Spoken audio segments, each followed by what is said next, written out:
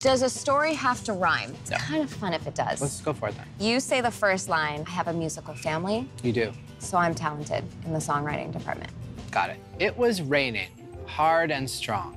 And BK was like, what's going on? Let's start over. Okay.